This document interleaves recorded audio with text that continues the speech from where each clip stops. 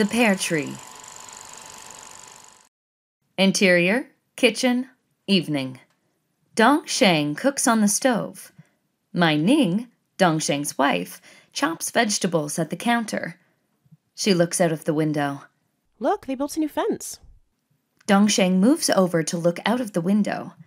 A new wooden lattice fence stands high between their backyard and the new neighbors. When did they build it? It wasn't there only the other day. Probably over the weekend? Looks really good. Yeah.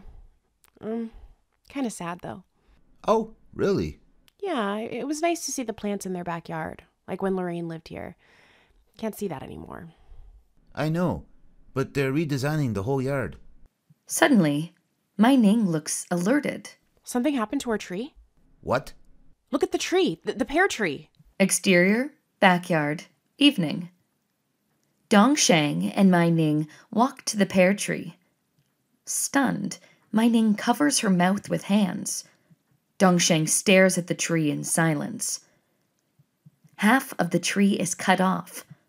Large and small cut off branches lie around on the ground. Dong Sheng takes a deep breath, moves his eyes slowly from the top of the tree to the bottom. All the main branches facing the fence are cut off from the trunk. Thick stubs of the sawed off branches are left with ragged edges and split bark. Part of the trunk below one of the stubs is torn off. They cut our pear tree like that? Dong Sheng looks at the new lattice wooden fence closely. Its panels are fastened to the old wire fence from the other side, held stable by a row of added poles from behind. I think they were building the fence. The tree got in the way or something. Mei Ning steps in between the tree and the fence, looks up and down. There is enough space between the tree and the fence. They didn't have to cut our tree. That's what I don't understand. Maybe the top of the branches got in the way. So they cut the whole half of the tree. Were they crazy? Unbelievable. They had to come inside our yard with a chainsaw to cut all these. Dong Sheng stares in disbelief. Mei Ning picks up a cut off branch, looks at the broken buds and flowers. What are we going to do? I don't know. What can we do? Dong Sheng kneels down by the tree, picks up a hanging piece of bark, puts it back onto the trunk. Looking carefully, he sees swarms of tiny ants crawling all over the torn trunk. Oh, look. We have to do something to stop the bugs from eating into the trunk or getting infected by disease. Interior, kitchen, evening. Dong Sheng and Mei Ning search the cabinet. Mei Ning finds a bottle of first aid spray from a box. Will this work? Not sure if it works on trees. Mei Ning finds another bottle. How about this? Oh, this is what I'm looking for. It's the tree bug killer. We can try both of them. Exterior, backyard, evening. Dong Sheng and Mei Ning kneel down by the pear tree. Dong Sheng wipes off the dirt and bugs from the torn off trunk and stubs. Mei Ning sprays layers of bug killer onto them. Dong Sheng holds the pieces of split bark back onto the trunk. Mei Ning runs ropes around the trunk to tie them up. Poor tree. It's like a person's limbs got cut off just like that.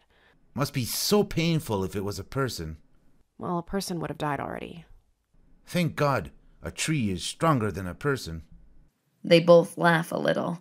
I hope you're right. I'm afraid it will die. I think it'll survive. It's still very young, very strong. Interior, bedroom, midnight. Mei Ning turns around in bed. Dong Sheng looks at her. Still can't sleep? Why didn't they even ask us? They, they could have asked us, right? That's what I'm thinking. Maybe they were too busy. Or because we were not home? But you don't just cut your neighbor's tree when they're not home. I know. Doesn't make sense. Lorraine and her husband would never, ever do anything like this. Nobody would ever do anything like this. But I was thinking, could it be a mistake? How could it be a mistake? I don't know. Maybe somehow they didn't realize it was our tree? They are still kind of new to their yard. That's ridiculous. It's inside our yard.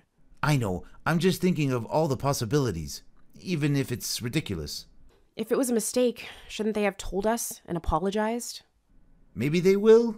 Maybe they haven't had the opportunity to mention it